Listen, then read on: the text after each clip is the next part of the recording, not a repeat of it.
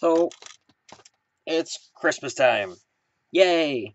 Um, and one thing that occurs to me is, you know, this year I I'm in good spirits for Christmas and I'm looking forward to it and all the Christmas lights are up and there's decorations in every room including this one and everybody's happy except the guys who are fighting on the ice there on the TV in the background but you know all right let me just turn away from the TV for a second here it's not that way for everybody Christmas is for some people the most depressing time of the year and with my movies and TV channel of course I could talk about the wonders of Christmas Vacation, the wonders of um, the various Christmas Carol movies that I've watched. I used to stay up and I'd watch the old Alastair Sim Christmas Carol. I would stay up till it was on midnight, Christmas morning, on CBC every year, and I would stay up and watch it.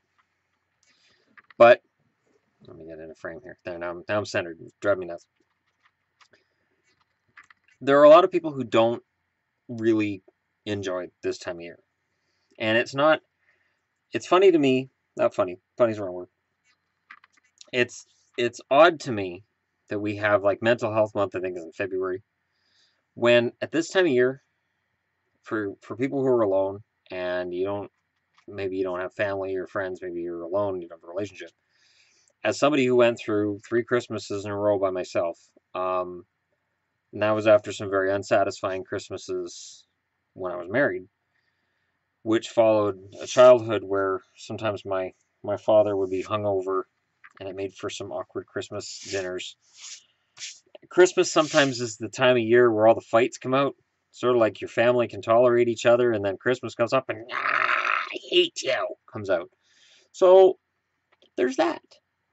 Now, as as a person who understands the loneliness of Christmas, I decided I'm going to put together movies from my collection that I would watch were I not in this decent situation right now, if I were still in that dank, dark apartment and I was by myself for Christmas.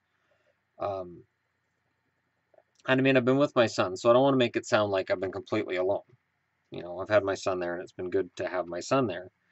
But it's different than when you you're used to having a full family and having stuff to do and places to go. I mean, I would have Christmas, go to my mom's, and we'd have this, but there was like basically two hours out of an, entire season, and Christmas is, is a season where I could kind of take my mind off of how everything had fallen apart. There are plenty of people who don't have that opportunity. So,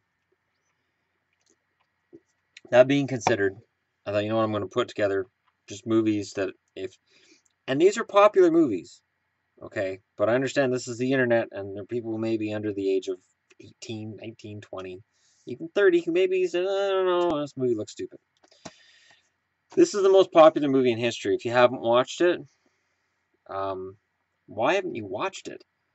Now, uh, Yvonne was just telling me I'm wrong. She says Labyrinth is more a Christmas movie than this one. Now, of course, full disclosure, I haven't watched Labyrinth. I bought it last week. I'm going to watch it with her over the Christmas holiday.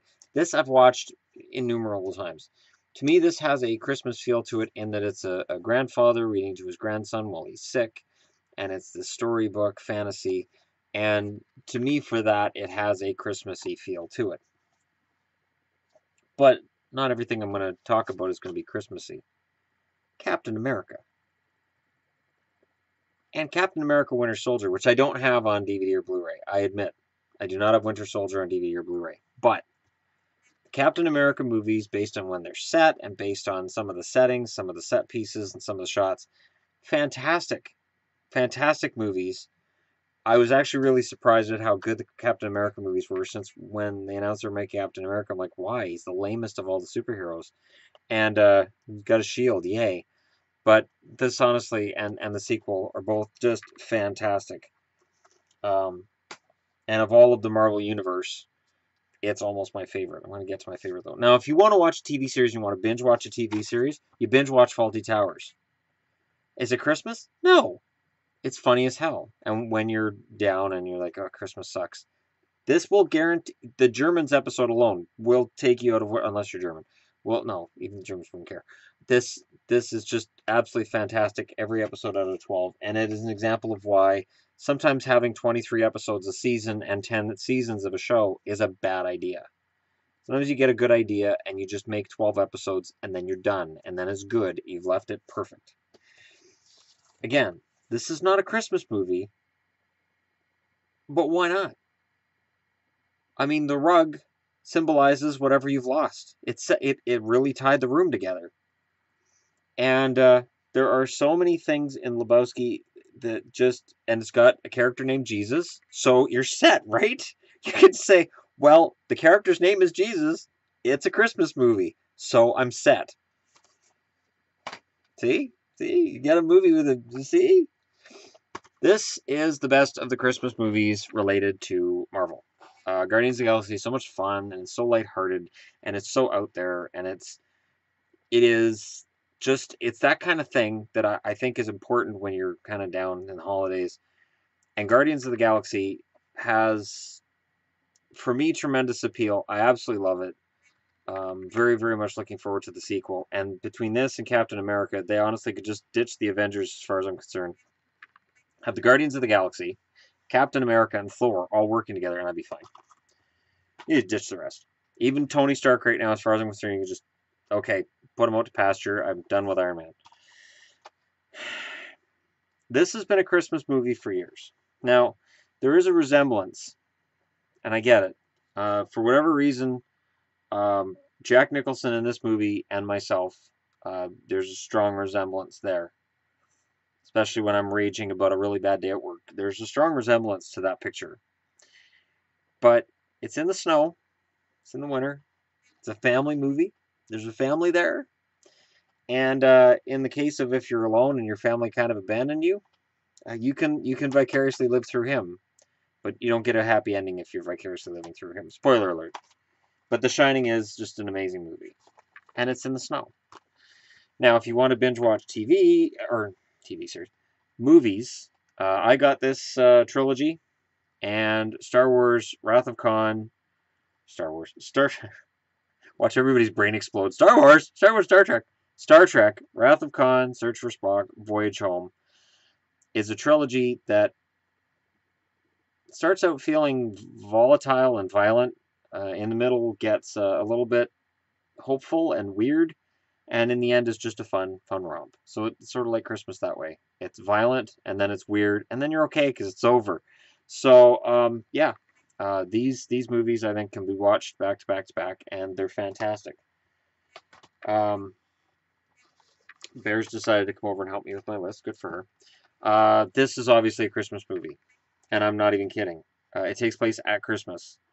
Um, there is a good chance this will be watched in my home between now and Christmas as a Christmas movie because it is a Christmas movie. Think that over. Don't debate it. Die Hard is a Christmas movie too. So anybody who says, well, where's Die Hard? I don't own Die Hard, but the original Die Hard is a Christmas movie. Absolutely. Dogma. So this is the time of year where we get all the religious overtones to everything, and for some people who may not be religious, it may seem kind of heavy-handed. So you you put on Dogma, which has uh, enraged religious people over the decades. I'm not sure why. It doesn't take anything seriously, but people take it seriously, which I think is kind of weird. It's Jay and Silent Bob in it, so you can only take so much seriously with it. But Dogma is a pretty fantastic movie. It drags in spots, I admit. Uh, having watched it a number of times, there are parts of the movie where it just sort of drags. But you got angels, and you got heaven, and you got God, and you got hell, and demons, and all the wonderful stuff that makes uh, Christmas special. Yeah, no, there's demons. Yeah, no, just it's in the back of the Bible. Okay, uh, Hitchhiker's, Hitchhiker's Guide to the Galaxy. Uh, again, if you're alone on Christmas and you don't really care about the world, this has the world getting exploded at the start, so it's a feel-good movie and it you know when when earth eventually makes some kind of a weird return it's not the same earth so you can still feel good that everybody you knew was dead uh, if you're in that mindset now i'm going to reach. I'm going to reach i'm going to reach hard. Conan the barbarian the original. The original not the new crap. They got the new crap on tv today. And i'm like oh man i don't i don't even know if yvonne's seen the original. I don't think she has but uh, it's pretty fantastic. Uh, the music is amazing. The music you could you could close your eyes, listen to the theme music from Conan, and go, yeah, that's kind of Christmassy. Sure, yeah, we we can do we can do Christmas with that. Uh, Arnold Schwarzenegger at his uh, most unintelligible English, but uh, honestly, his acting's pretty strong as Conan. It's sort of like here, here's a sword, go hit things. I can do that, and then he goes and does it. It's uh, pretty amazing stuff. Uh, am I reaching? No. Uh, when I was a kid, um, the Star Wars movies were major. Now, of course, we've got Rogue One coming out in five days, and Rogue One looks amazing. Uh, binge watch the original trilogy, not the prequels. Don't. You want to cheer yourself up on on the Christmas holiday. You don't want to depress yourself. Don't watch the prequels. Um, Empire especially has the Christmassy feel that it's hot and it's cold. And then you've got Yoda and it's kind of a boggy swamp and it looks like that's probably pretty cold too. And there's all this enlightenment and this fight between good and evil and it's pretty fantastic stuff. Uh, not that there's anything wrong with Jedi or the original Star Wars, but Empire is, of course, the absolute perfect movie. And finally, and I've pushed this movie before, and I'm going to continue pushing it until everybody's seen it. Night of the Comet. The fact that the Earth gets wiped out by the comet is pretty awesome. The fact that the movie is set in California at Christmas is even better. So, you know, and, and you hear it. I mean, you hear the radio throughout the whole movie, and the DJ's counting down the days till Christmas. So even though it's California, you tell it's sunny and it's warm, it, it is Christmas. You do hear Christmas carols, and towards the end, Hector, the main one, the main male character, is dressed up as Santa Claus. So it is Christmas. He comes into the to, to the radio station, Merry Christmas, and even though there's zombies eating people, it's okay because there's a Christmas feel to it. So again, uh, if if you're struggling because it's Christmas, you're not alone. Um, I've had it. I know that even with where I am and with everything going great, I'm still struggling with some things uh, because that happens. Um, it is that time of year when you reflect, even more so, I think, than New Year's. New Year's is more about getting loaded. Uh, Christmas is about unloading, and all of these emotional things come up. So, anyways, uh, I just thought I'd throw that out there uh, throw up a video on my movie and TV channel. Uh, thanks for watching. Uh, and uh, don't forget to hit like and subscribe if you're just browsing through. Uh, I know I don't post as many videos here as I do on my hockey channel, my main channel, but I do think about you guys, and uh, I do try to post here as regularly as possible. Again, now that I've got uh, cable back, I'll be able to talk more about TV. Of course, I've got hockey on all the time, but that's gonna change eventually. Uh, anyways, thanks for watching, and uh, I will talk to y'all again soon.